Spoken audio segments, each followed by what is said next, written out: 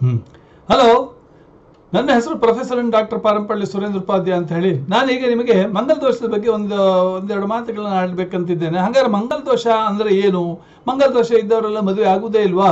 ಹಾಗಾದ್ರೆ ಭಾರತದಲ್ಲಿ ಮಂಗಲ ದೋಷ ಇದ್ದವರೆಲ್ಲ ಎಷ್ಟು ಜನ ಇರ್ತಾರೆ? ಅಂತ ಸಿಂಪಲ್ ಆಗಿ ನೋಡೋಣ. ಮಂಗಲ ದೋಷ ಅಂದ್ರೆ ಒಂದು ಪ್ಯಾಷನೇಟ್ ಇದ್ದವರು ಡಿಸೈರ್ ಜಾಸ್ತಿ ಇದ್ದವರು ಅವರಿಗೆ ಒಂದು ಆಸೆ ಆಕಾಂಕ್ಷೆಗಳು ಜಾಸ್ತಿ ಮತ್ತೆ ಸೆಕ್ಷುವಲ್ ಇದರಲ್ಲಿ ಜಾಸ್ತಿ ಇದ್ದಾರೆ ಅಂತ. ಬಿಹೇವಿಯರ್ ಜಾಸ್ತಿ. ಅಂತ. ಆಯ್ತಾ? ಅಗ್ರೆಸಿವ್ನೆಸ್ ಜಾಸ್ತಿ. ಕೋಪ ಜಾಸ್ತಿ ಎದುರು ಸಿಟ್ಟು ಆಯ್ತಾ? ಗುಡ್ ಇನ್ ಸ್ಪೋರ್ಟ್ಸ್ ಇದೆಲ್ಲ ಇದೆ ಮಂಗಲ್ ದೋಷ ಆಯ್ತಾ?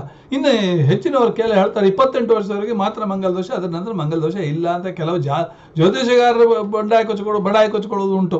ನಾನು ಒಪ್ಪಲಿಕ್ಕಿಲ್ಲ. ನಮ್ಮ ಸೂರ್ಯೋಡ್ರ ಸೂರ್ಯ ಸೂರ್ಯೋಡ್ರ ಹೇಳಿದ್ರು ಸುರೇಂದ್ರ ಇಪ್ಪತ್ತೆಂಟು ವರ್ಷ ಮಾತ್ರ.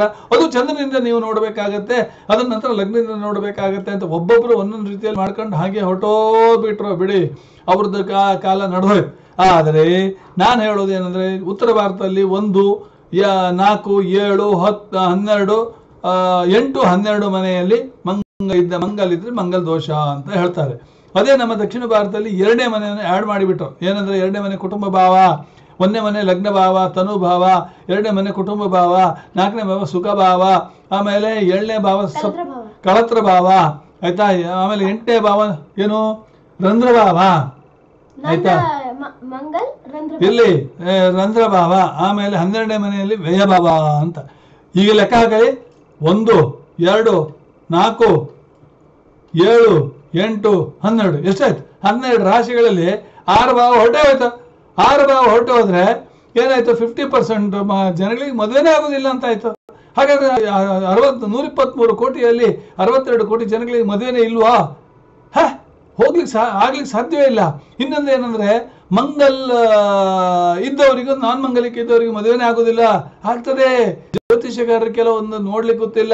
ಮಂಗಲ್ ದೋಷ ಇದ್ದವರಿಗೆ ನಾನ್ ಮಂಗಲಿಕ್ ಜೊತೆ ಮದುವೆ ಆಗ್ಬೇಕಾದ್ರೆ ಬೇರೆ ಗ್ರಹಗಳ ಪರಿಸ್ಥಿತಿ ನೋಡಿ ಅಲ್ಲ.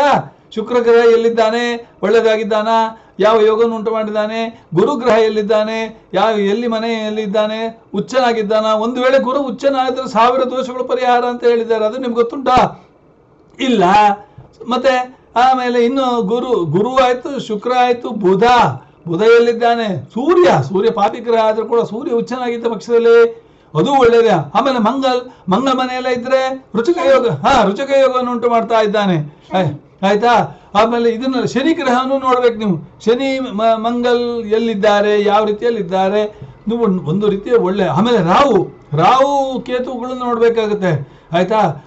ಸೊ ರಾಹು ಕುಜ ದೋಷವನ್ನು ಹೊಡೆದಾಕ್ಲಿಕ್ಕೆ ಸಾಧ್ಯತೆ ಉಂಟು. ರಾಹು ಒಳ್ಳೆ ರೀತಿಯಲ್ಲಿ ಇದ್ದಲ್ಲಿ ಕುಜ ರಾಹು ಹನ್ನೆರಡನೇ ಮನೆಯಲ್ಲಿ ಇದೆ ಅಂತ ಇಟ್ಕೊಳ್ಳಿ. ಓಕೆ ಕುಜ ರಾಹು ಹನ್ನೆರಡನೇ ಮನೆಯಲ್ಲಿ ಇದ್ರೆ ಏಳನೇ ಮನೆಯಲ್ಲಿ ಕುಜ ಕುಜ ಹೊಡೆದೋಗ್ತದೆ. ಕೆಲವೊಂದು ವಿಚಾರಗಳನ್ನು ಸರಿಯಾಗಿ ಎನಲೈಸ್ ಮಾಡಬೇಕೇ ವಿನಃ. ಸುಮ್ಮನೆ ಅದಕ್ಕೆ, ಇದಕ್ಕೆ ಅದಾಗೋದಿಲ್ಲ, ಅದಕ್ಕೆ ಇದಾಗೋದಿಲ್ಲ ಅಂದರೆ ಎಲ್ಲ ಹೆಣ್ಮಕ್ಳು ಉಳ್ದೇ ಹೋಗ್ತಿದ್ರು, ಎಲ್ಲ ಗಂಡ್ಮಕ್ಳು ಉಳ್ದೇ ಹೋಗ್ತಿದ್ರು.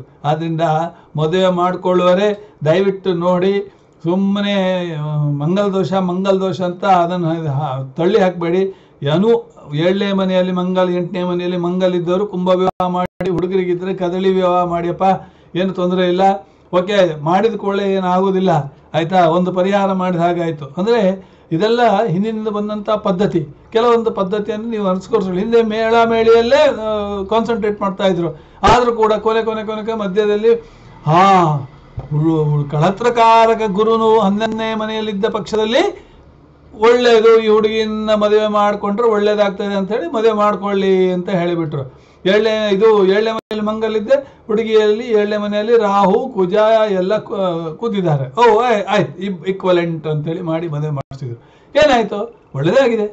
ಸೊ ಆದ್ರಿಂದ ನೀವು ಪ್ರತಿಯೊಂದು ಮಂಗಲ್ ದೋಷ ಮಂಗಲ್ ದೋಷ ಅಂತೇಳಿ ಕೂತ್ಕೊಳ್ಬೇಡಿ. ಮನೆಯಲ್ಲಿ ಹೆಣ್ಮಕ್ಳನ್ನು ಇಟ್ಕೊಳ್ಬೇಡಿ. ದಯವಿಟ್ಟು ಆಮೇಲೆ ನಕ್ಷತ್ರ ಪಟ್ಟಿಯನ್ನು ತೆಗೆದು ಹರಿದು ಬಿಸಾಕ್ಬಿಡಿ. ಈ ನಕ್ಷತ್ರಕ್ಕೆ ಆ ನಕ್ಷತ್ರ ಆಗೋದಿಲ್ಲ ಅಂದ್ರೆ ನಿಮ್ಮ ಮಗಳ ಅಜ, ಆ ಜನ್ಮ ಕುಮಾರಿಯೋ ಆಗಿ ಕುಳಿತುಕೊಳ್ತಾಳೆ ಅದೇ ರೀತಿ ತಂದೆ ತಾಯಿ ಎಲ್ಲಿದ್ದಾರೆ ಏನ್ ಕತೆ ಓ ನಿಮ್ಮ ತಂದೆ ವೈದಿಕ ಸಮಾಜದಲ್ಲಿ ಬಳಸ್ತಾರಾ? ಅಂತ ಹೇಳಿಬಿಟ್ಟ ಅವನಿಗೆ ಮದುವೆನೇ ಮಾಡದೆ ಹೋಗಿ, ಇದು ಮಾಡಬೇಡಿ. ನಿಮಗೆ ಹೆಣ್ಮಕ್ಳು ಇದ್ದವ್ರು ಸ್ವಲ್ಪ ಇವ್ರು ಅರ್ಥ ಮಾಡ್ಕೊಳ್ಳಿ. ಹುಡುಗ ಹೇಗಿದ್ದಾನೆ? ಹುಡುಗ ಅಟ್ಲೀಸ್ಟ್ ಒಂದು ಮೂವತ್ತು ಸಾವಿರ ರೂಪಾಯಿ ಸಂಬಳ ಈ ಕಾಲದಲ್ಲಿ ತರ್ತಾನ? ಸಾಕಲ್ಲ. ಹುಡುಗಿಗೂ ಸಂಬಳ ಬರ್ತದೆ. ಸಾಕು. ನಾನು ನೋಡಿದ್ದೇನೆ. ನನ್ನ ತಂಗಿ, ತಂಗಿಯ ಮಕ್ಕಳು ಒಳ್ಳೆ ರೀತಿಯಲ್ಲಿ ಸಂಸಾರವನ್ನು ಸಾಧಿಸ್ಕೊಂಡು ಹೋಗ್ತಾ ಇದ್ದಾರೆ. ಈಗ ಒಂದು ಎಪ್ಪತ್ತೈದು ಲಕ್ಷದ ಮನೆಯನ್ನು ಮಾಡ್ಕೊಂಡು ಮಾಡಿ, ಮಾಡ್ತಾ ಇದ್ದಾರೆ. ಸೊ ಅವರು ಕೂಡ ಸಂಪಾದನೆ ಮಾಡ್ತಾ ಇದ್ದಾರೆ, ಕೆಲಸ ಮಾಡ್ತಾ ಇದ್ದಾರೆ, ದುಡಿತಾ ಇದ್ದಾರೆ, ಜೀವನ ಮಾಡ್ತಾ ಇದ್ದಾರೆ. ಯಾರು ಆ ರೀತಿ ಒಂದು ರೀತಿ ಬೇಡ್ಕೊಂಡು ಉದ್ದ- ರಸ್ತೆಯಲ್ಲಿ ಇರುವವರಿಲ್ಲ ಮಂಗಲ್ ದೋಷ ನಾನ್ ಮಂಗಲಿಕ ದೋಷ, ಇಪ್ಪತ್ತೆಂಟು ವರ್ಷ ಅಥವಾ ನಲವತ್ತು ವರ್ಷದವರಿಗೆ ಅದೆಲ್ಲ ನೋಡಕ್ಕೆ ಹೋಗಬೇಡಿ. ದಯವಿಟ್ಟು ನನ್ನ ಕನ್ಸರ್ನ್ ಏನಂದ್ರೆ ನೀವು ಮದುವೆ ಮಾಡಿಯಪ್ಪ ಅಷ್ಟೇ. ನಮಸ್ಕಾರ.